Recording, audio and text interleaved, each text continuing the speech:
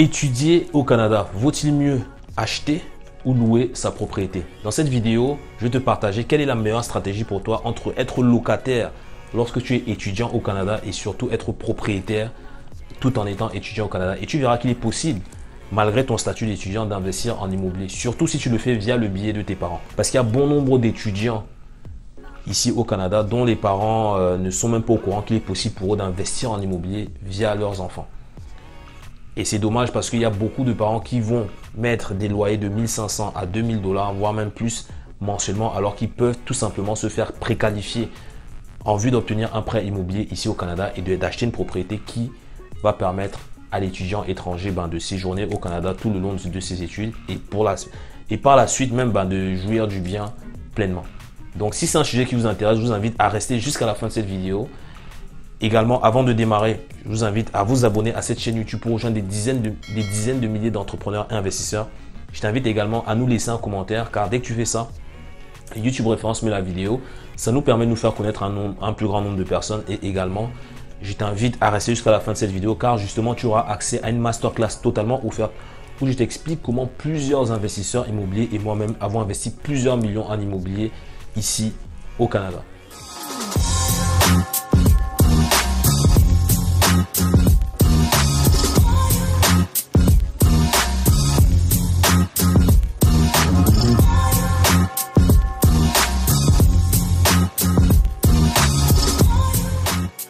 Alors dans cette vidéo, je me retrouve une fois de plus dans mes bureaux au centre-ville de Montréal et aujourd'hui, on va parler de tout simplement comment investir en immobilier en étant étudiant.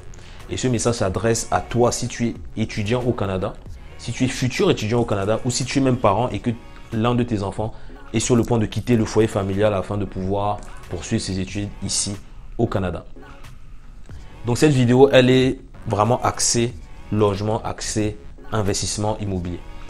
Quand vous allez arriver ici au Canada, quand tu vas arriver ici au Canada, toi qui es étudiant ou toi qui es étudiant en devenir, tu vas très certainement te demander ben, comment est-ce que je veux me loger? Donc ça, c'est la question de base. Donc c'est où est-ce que je veux me loger? Quelles sont les différentes options au niveau des logements? Je peux te donner quelques sites sur lesquels tu vas trouver des logements. Tu as kijiji.ca, ça s'écrit comme ça. Kijiji.ca tu as Marketplace de Facebook où tu peux trouver des logements. Tu as également tous les groupes Facebook, les groupes de PVT, les groupes d'immigrants, les groupes de logements à louer à Montréal, locataires à Montréal, appartements à louer à Montréal. Il y a énormément de groupes sur Facebook où tu peux trouver des logements à louer lors de ton arrivée. Et moi, ce que je t'encourage à faire, c'est que si tu veux louer un logement, attends d'arriver ici avant de, avant de chercher ton logement parce que ça va très vite. C'est pas comme en Europe ou ailleurs ou des fois trouver des logements. Voilà, ça demande euh, des mois. Ici, c'est en quelques jours, voire quelques semaines, ça peut être fait. Donc, franchement, garde ton énergie, prépare mieux ton départ. Tu loues peut-être une chambre d'hôtel, un Airbnb, peut-être pendant un mois, le temps de. Mais crois-moi qu'en un mois, tu peux trouver ton logement. Donc, ça, c'est au niveau de la location. Mais maintenant, je vais te parler de l'achat immobilier. Ici, au Canada, tu peux devenir propriétaire immobilier si, par exemple, tu investis avec tes parents. Et là, c'est un message orienté pour les parents que de louer un logement à vos enfants. Pourquoi ne pas investir en immobilier? Et beaucoup de parents vont se demander, mais est-ce que c'est possible d'investir en immobilier? Oui, c'est possible d'investir en immobilier. Car si par exemple vous achetez une propriété, on va dire à 300 000 dollars, donc on va dire que vous, avec ce budget, vous pouvez facilement trouver, allez, peut-être une chambre voire même deux chambres très facilement. Vraiment bien situé, centre-ville de Montréal par exemple, proche des universités. Il va vous falloir environ, allez, pour être large, on va dire 35% minimum du de ce montant-là pour pouvoir vous faire financer auprès d'une autre banque. Au-delà de ça, il va falloir, on va dire 10% de frais administratifs. Donc là, c'est 35% d'apport et 10% de frais pour payer les, les taxes, euh, et autres frais liés à l'achat. Donc là, j'arrondis, hein, c'est un peu moins, mais j'arrondis. Je préfère arrondir comme ça, on est, euh, voilà, on est, euh, on, a des chiffres assez ronds. Donc vous voyez qu'il va vous falloir un peu moins de 150 000 dollars pour obtenir un bien de 300 000 dollars. Et nous, aujourd'hui, c'est ce qu'on fait, c'est qu'on aide les personnes justement à investir en immobilier et notamment les parents d'étudiants étrangers. On les oriente vers, vers ce type d'opération que de louer. Nous, on vous conseille d'acheter de l'immobilier dès à présent. Et comment ça se passe? C'est que Ici au Canada, vous pouvez acheter une propriété en étant non résident fiscal au Canada. Ça veut dire que vous n'habitez même pas au Canada. Vous êtes peut-être en France, en Afrique, au Cameroun, Côte d'Ivoire, Sénégal, États-Unis, peu importe. Et vous souhaitez justement envoyer votre, euh, enfant étudier au Canada.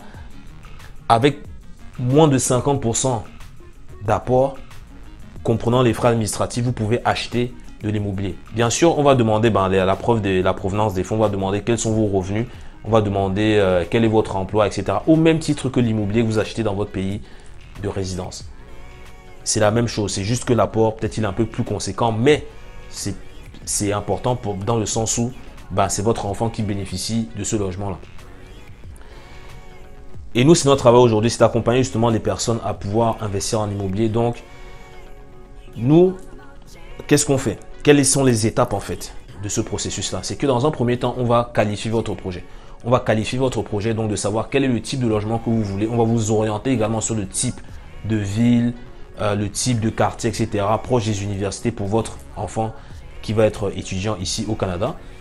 On va également euh, vous préqualifier, c'est-à-dire on va aller voir les banques, on va vous faire remplir des formulaires pour voir combien est-ce que vous pouvez prétendre investir ici au Canada en termes d'immobilier. Quel est le montant que vous pouvez euh, avoir pour pouvoir faire votre acquisition dans laquelle votre enfant va habiter.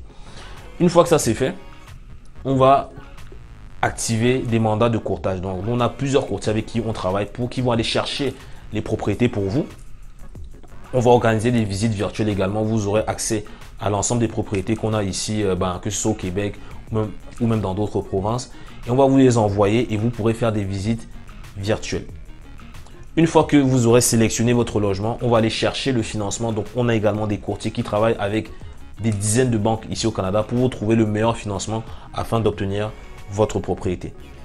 Ensuite, on va vous mettre également en relation avec tout ce qui est assurance parce qu'il faut, faut assurer le bien, il faut assurer le prêt aussi. Il faut assurer votre enfant. S'il est copropriétaire du bien, il faut également l'assurer en cas de pépin. Donc, on a également un pôle de courtage à ce niveau-là pour vous accompagner ben, dans, dans tout ce qui demande d'assurance, etc.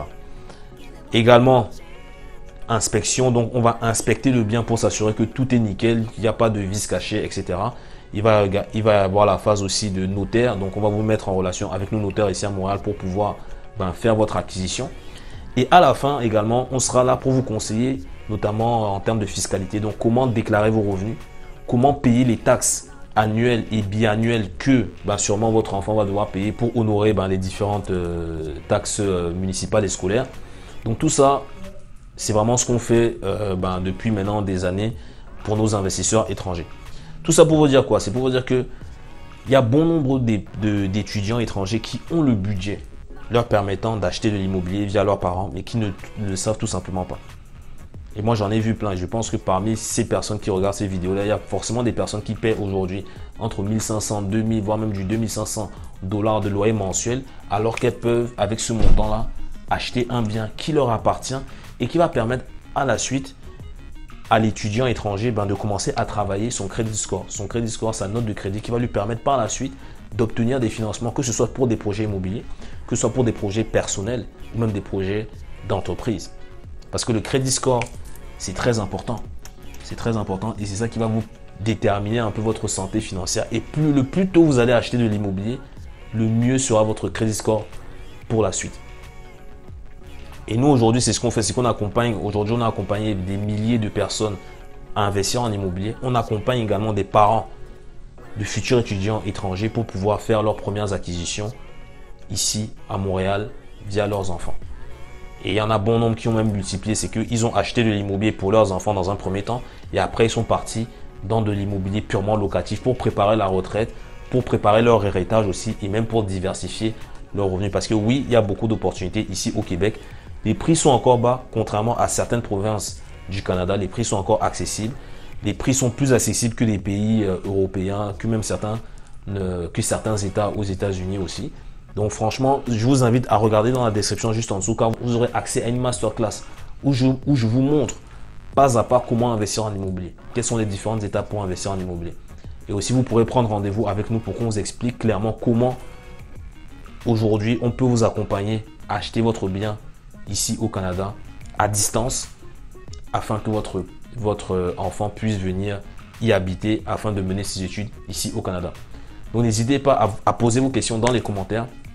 Je vais faire également d'autres séries de vidéos à ce sujet-là parce que c'est un sujet très important selon moi. Moi, j'aurais aimé qu'on me partage cela. Bon, c'est vrai que j'ai pas fait mes études à Montréal, mais euh, même à l'époque en France ou même, euh, même ici, parce qu'il euh, y a bon nombre de personnes qui souhaitent venir étudier ici, qui ont les moyens, mais qui ne savent tout simplement pas comment ça se passe en fait.